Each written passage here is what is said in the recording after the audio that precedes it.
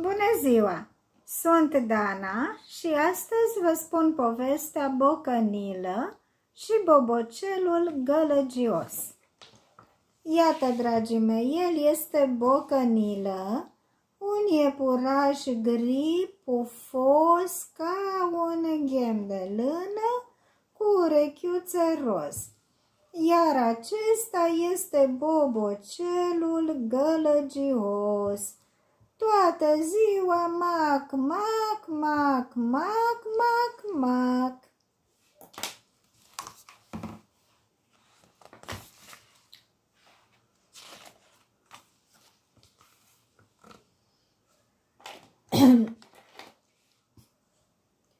Într-o după amiază caldă de primăvară, iepurașii își făcură culcuși pe covorul moale de trifoi din poiană ca să tragă un pui de somn.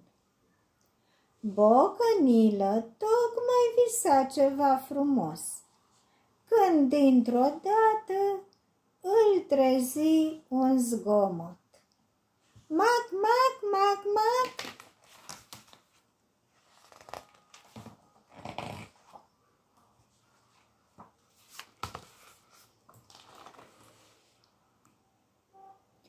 Iepurașul o luă în direcția sunetului și dădu peste un boboc de rață gălăgios. Mac, mac, mac, mac, făcură țușca în semn de salut. șopti bocănilă. Iepurașul arătă mai apoi spre surioarele lui care încă dormeau. Nu mai măcăi, să nu le trezești. Mac strigă rățușca tare de parcă nici nu l-ar fi auzit.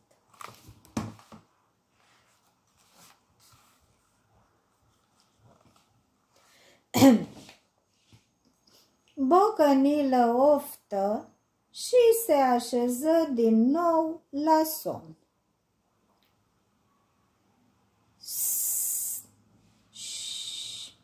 zise el încă o dată. Aproape a dormit. Dar bobocelul de rață parcă nici nu auzea și nici nu înțelegea. El sări pe spinarea lui Bocănilă și strigă în gura mare mac. Curând, surioarele bobocelului apărură ca din senin și se strânseră în jurul lui Bocănilă. Mac, mac, mac, mac, mac, mac, începură rățuștele în cor.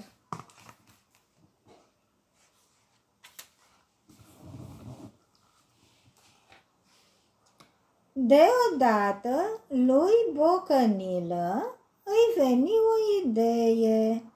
Mac le răspunse cât putu el de tare.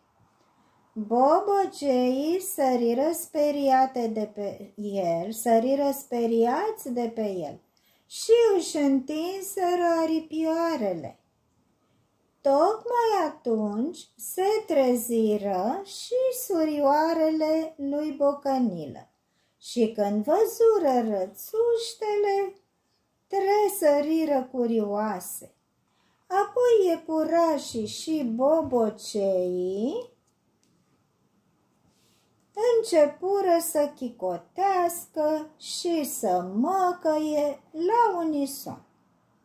Se împrieteniră și începură să se joace împreună.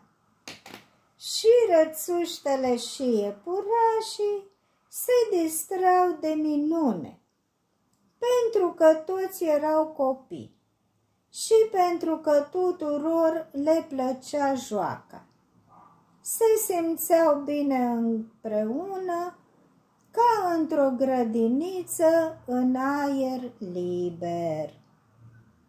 Și după ce s-au jucat ei ce s-au jucat, bobocelul cel gălăgios le făcu semn să tacă.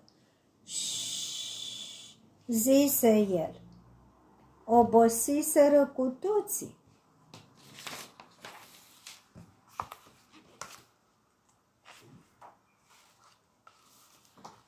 Apoi și boboceii și iepurașii se așezară cu toții pe covorul moale de trifoi ca să tragă un pui de somn bine meritat.